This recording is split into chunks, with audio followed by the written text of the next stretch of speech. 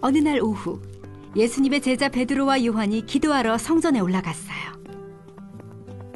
그들은 성전 문 앞에 앉아 있는 한 사람을 보았어요.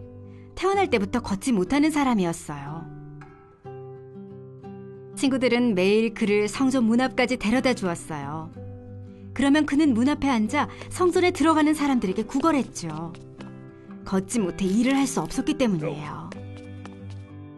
베드로가 그에게 말했어요. 우리를 보시오. 그는 베드로와 요한이 무엇을 주려나 하고 쳐다보았어요. 베드로가 말했어요. 나에게 은과 금은 없지만 나에게 있는 것을 주겠소. 나사렛 예수 그리스도의 이름으로 일어나 걸으시오. 베드로가 손을 내밀어 그를 일으켰어요. 그러자 걷지 못하던 사람의 발과 발목에 힘이 생기고 걸을 수 있게 됐어요. 그는 베드로와 요한과 함께 성전에 들어가 하나님을 찬양했어요. 성전에 있던 사람들도 그를 보고 말했어요. 저 사람은 매일 성전 문 앞에 앉아 있던 자가 아닌가? 걷지 못해서 구걸하던 사람이잖아. 맞아, 그 사람이야. 그가 걷게 되다니. 어떻게 저런 기적이 일어난 거지? 사람들은 이 일을 보고 놀랐어요. 다음 날 종교 지도자들이 모였어요.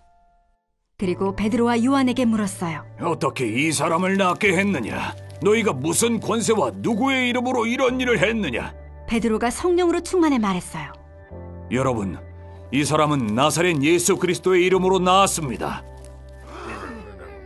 여러분은 예수님을 십자가에 못 박았지만 하나님은 그를 죽은 자 가운데서 살리셨습니다. 이 사람이 나은 것은 그분 때문입니다. 베드로는 종교 지도자들에게 사람들이 예수님을 소중하게 여기지 않고 거절했다고 말했어요. 예수님은 그 누구보다도 중요한 분이세요. 베드로와 요한이 담대하게 말하는 모습을 본 종교 지도자들은 더 할 말이 없었어요. 그들은 베드로와 요한에게 다시는 예수의 이름으로 설교하거나 가르치지 말라고 명령했어요. 우리는 침묵할 수 없습니다.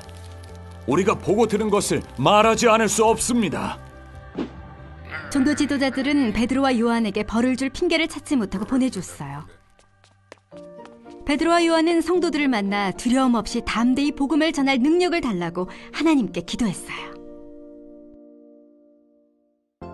예수님이 승천하신 후 성령님은 제자들에게 하나님의 일을 할 수 있는 능력을 주셨어요.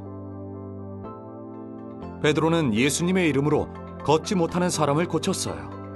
종교 지도자들조차 예수님의 제자들이 예수님에 관한 복음을 전하는 것을 막을 수 없었어요.